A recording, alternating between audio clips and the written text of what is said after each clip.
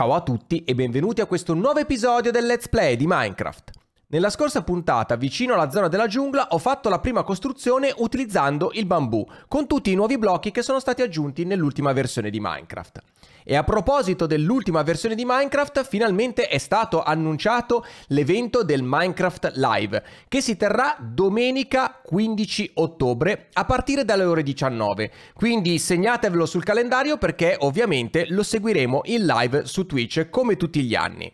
Nell'episodio di oggi voglio portarvi qualcosa di particolare e soprattutto di originale. Prima però eh, voglio mostrarvi i progressi che ho fatto in live perché in queste ultime settimane ho lavorato tantissimo alla zona medievale che eh, avete visto forse in uno degli episodi dove ho costruito eh, queste due torri. La costruzione che volevo mostrarvi e che ho fatto in live è questa chiesa. Prima però di andarla a visitare all'interno e anche all'esterno perché ci sono diverse cose Voglio ricordarvi di venirmi a trovare in live ogni mercoledì, venerdì e domenica a partire dalle 20.30 e il link del canale lo trovate in descrizione. Ricordatevi anche di iscrivervi a questo canale per seguire tutti quanti i video perché il 60% di voi ancora non è iscritto ma guarda comunque i video. Quindi se volete rimanere aggiornati con tutte le cose, ragazzi mettete appunto un'iscrizione al canale. Allora iniziamo a guardare la parte esterna di questa chiesa che come vedete ha anche questo campanile che tra poco andremo a visitare.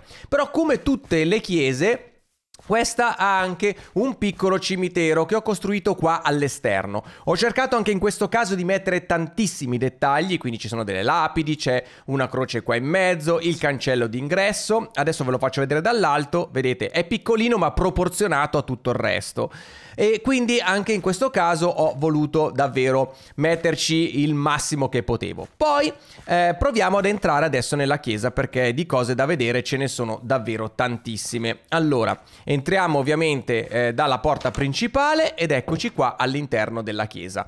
Come vedete anche in questo caso ci sono un sacco di dettagli, soprattutto nella parte del tetto dove ho messo eh, questi archi di legno, poi anche qua sopra ci sono tanti tanti dettagli, ma anche qua sotto ci sono le panche, ci sono questi banner con le croci, c'è un'acqua santiera qua, il tappeto qua sotto e ovviamente eh, un altare con due candelabri che ho fatto in questa maniera.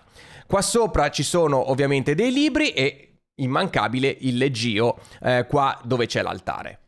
Dietro l'altare si trova una scala, una che porta al campanile. Ora proviamo a salire, quindi prendiamo questa scala a chiocciola e arriviamo fino in alto. Qua mancano ancora le eh, campane perché non le avevo da aggiungere, quindi devo aspettare di ottenerle e poi le andremo a mettere. Ne voglio eh, mettere almeno tre perché secondo me ci stanno bene. E qua abbiamo anche una buona vista di tutti i dintorni. Scendendo invece dall'altra parte andiamo nella cripta. Ok, iniziamo a scendere quindi e andiamo nella cripta che si trova da questa parte. Come vedete anche qui tantissimi dettagli, build hack un po' ovunque e eh, ho cercato di creare una forma a croce perché sono andato anche a ispirarmi ad alcune eh, foto che ho visto in giro, ma soprattutto mi sono ispirato a ciò che ho visto quest'anno durante le mie vacanze in Irlanda.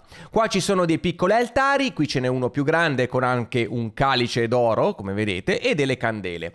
Eh, voglio ancora aggiungere dei dettagli a questo posto, ma ci devo pensare bene. Anche il pavimento è piuttosto dettagliato, ho voluto mettere queste pietre lavorate, insomma, per rendere eh, tutto meno grigio eh, chiaro. Là in fondo, come vedete, c'è un piccolo passaggio che al momento è chiuso, perché un domani, quando andrò a costruire il castello, e ricordatevi che prima o poi lo farò, voglio creare un passaggio nelle catacombe dal castello fino alla cripta. Perché mi sono immaginato che in caso di assedio al castello praticamente si doveva fuggire da qualche parte e quindi si scendeva eh, nelle catacombe, si percorrevano, si arrivava qua nella cripta, poi bastava salire da questa scala, scendere da questa parte prendere questa barca, come vedete siamo all'interno di una piccola caverna, e uscire per raggiungere il fiume e quindi fuggire più velocemente. Ed è questo appunto il segreto di questa chiesa che come vedete eh, ho cercato anche di nascondere il più possibile. E questo è tutto per quanto riguarda la costruzione di questa chiesa. Qua ci sono altri dettagli, ma ancora non voglio mostrarveli perché ci sto lavorando. Ma dopo questo tour, spiegaci Tech che cosa andremo a fare oggi. Beh, ho deciso di costruire qualcosa con la redstone, però davvero particolare. Ci dovremo trasferire in una zona completamente diversa da questa, perché andremo eh, dove c'è la mia base subacquea, perché oggi andremo a costruire un vero e proprio sottomarino. Questa invenzione con la redstone non avrà la forma di un sottomarino perché sarebbe impossibile, ma permetterà al giocatore di entrare, di respirare e di muoversi sott'acqua. Quindi sarà una sorta di macchina volante, ne abbiamo fatte diverse qua all'interno di questo mondo, che però potrà funzionare sott'acqua. Ed è per questo che l'ho voluta costruire nella zona della base subacquea. Le persone che si sono iscritte recentemente a questo canale non conosceranno questa zona del mio mondo perché si trova abbastanza eh, lontana, infatti bisogna utilizzare un portale sul tetto del Nether per poterla raggiungere. Qua abbiamo un ascensore, eh, così, che ci porta praticamente all'interno della base subacquea. Eccola qua, perfetto ragazzi, siamo arrivati. È una zona che devo ancora finire perché come vedete c'è tutta questa parte ma è ancora completamente vuota. Ovviamente ci troviamo sott'acqua, vedete che eh, qua c'è tutto quanto. Se andiamo da questa parte esiste anche un'uscita eh, per poter andare eh, in mare. Qui ci sono anche dei villager che ho portato ma a noi ci interessa questa parte qua. Quindi usciamo e andiamo a chiudere prima che i villager escano ed ecco qua la nostra base subacquea ragazzi. Guardate che figata con tutte le bolle la costruzione qua ci sono i coralli i pesci tropicali eccetera. E come vedete qua c'è una zona eh, con eh, un relitto. Allora ho deciso di costruire questo piccolo sottomarino eh, da questa parte in modo che possa percorrere eh, in entrambe le direzioni eh, da qui fino un pochino più in là di questi eh, coralli in modo che più o meno, perché non è semplice, si possa eh, vedere questa barca sommersa e ovviamente tutto il resto che c'è qua sotto il mare. La parte con i coralli poi qua si ferma, ma volendo possiamo aggiungerne degli altri, anche perché eh, la zona fa parte un po' del mondo vecchio e un po' del mondo che ho creato con il nuovo seed. Anche se le due cose, diciamo, eh, stanno bene insieme, bisogna un attimino andare a sistemare, per esempio, questa parte dove non c'è nulla. Dimenticavo di dirvi che qua sotto possiamo respirare perché qua ho costruito un conduit e quindi mi permette di avere eh, sia la respirazione infinita sott'acqua e anche eh, una visione più chiara. Quindi anche nella zona dove costruiremo il sottomarino avremo eh, questa cosa, quindi ci aiuterà sicuramente a vedere molto meglio all'esterno. Allora, vado a spiegarvi innanzitutto come funziona questo meccanismo. Come vedete qua ho messo questo blocco di ossidiana che servirà a fermare eh, il meccanismo quando arriveremo qua, mentre dall'altra parte un bel po' di blocchi ne ho messo un altro per fermarlo nell'altra direzione. Infatti noi con questo sottomarino potremo andare avanti e indietro tutte le volte. Non potremo fermarci a metà, quindi dovremo per forza percorrere tutto quanto eh, il tragitto. Ora eh, vado a posizionare questo questi slime block ne metto uno qua eh, e un altro qua. E poi vado a mettere qui a fianco un pistone appiccicoso, così, e qua altri due slime block, uno e due. E qua davanti vado a mettere temporaneamente un altro blocco di eh, ossidiana che mi servirà a fermare tutto mentre sto costruendo.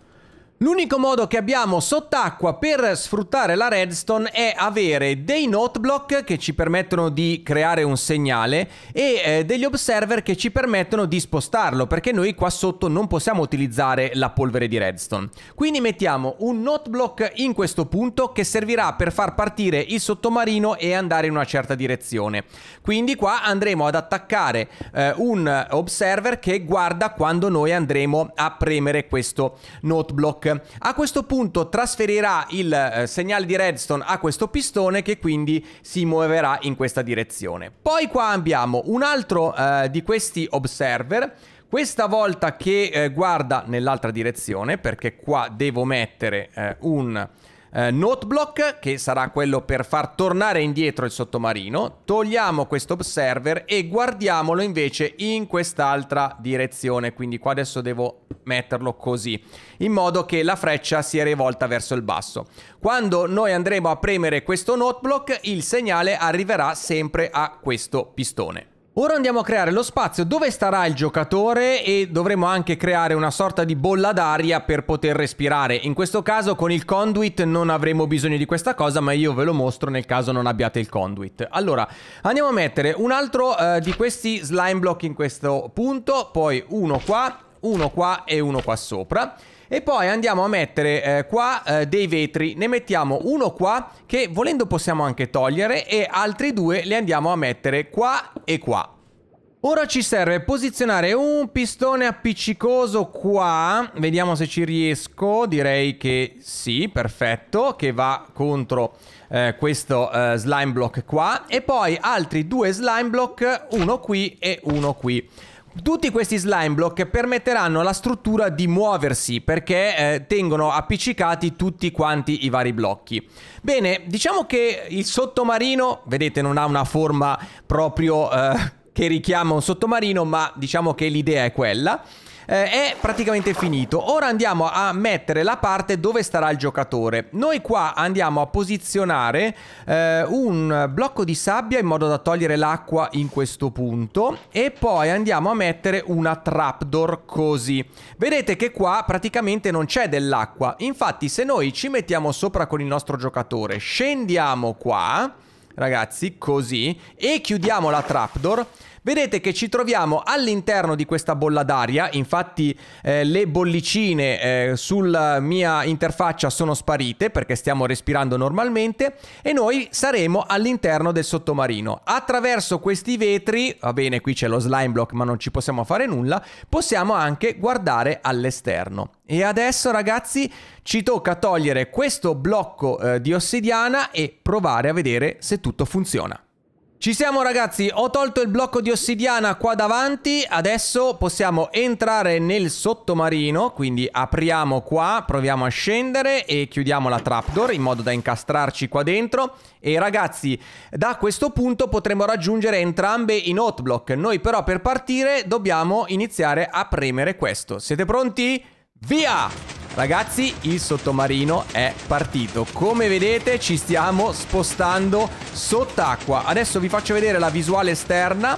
Vedete che il mio giocatore è all'interno e il sottomarino sta percorrendo tutto quanto eh, il eh, fondale marino. Adesso qua ci sono anche queste kelp che si romperanno e le andremo a recuperare e qua potremo ammirare il panorama. Ragazzi, è fantastico. Ecco qua la nostra barca sommersa Chiaramente attraverso i vetri e con le shaders abbiamo questo effetto. Comunque è davvero incredibile. Ecco, siamo quasi arrivati alla fine, ok? E come vedete ci siamo fermati. Ora se vogliamo tornare indietro dobbiamo semplicemente andare a premere quest'altro note block e il sottomarino andrà nella direzione opposta e quindi tornerà nel punto da cui siamo partiti.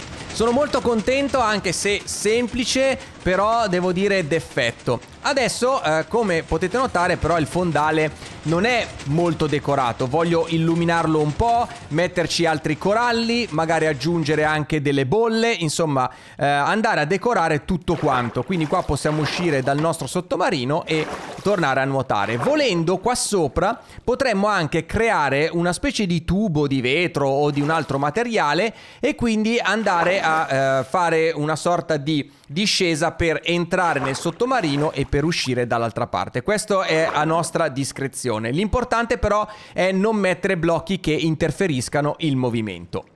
Ed eccoci qua ragazzi con tutta quanta la zona decorata. Come vedete ho aggiunto un po' di dettagli, un po' di coralli, un po' di bolle, qua ci sono alghe. Eh, l'ho fatto lungo tutto quanto il percorso, vedete qua in mezzo eh, alle alghe e anche ho aggiunto un po' di bolle qua dove c'è la nostra eh, barca sommersa. A questo punto possiamo riprovare a far partire il nostro sottomarino, anzi non entriamo dentro ma facciamo direttamente il percorso all'esterno così lo vediamo muoversi. Allora, dobbiamo semplicemente andare a premere qua. Ok, eccolo qua, il nostro sottomarino è partito. Fantastico, ragazzi. Mi piace davvero tantissimo quello che ho costruito e spero che piaccia anche a voi perché è davvero, davvero spettacolare. E dunque ragazzi siamo giunti anche oggi al termine di questo particolarissimo episodio, spero che questa invenzione vi piaccia, mi raccomando questa sera alle 20.30 su Twitch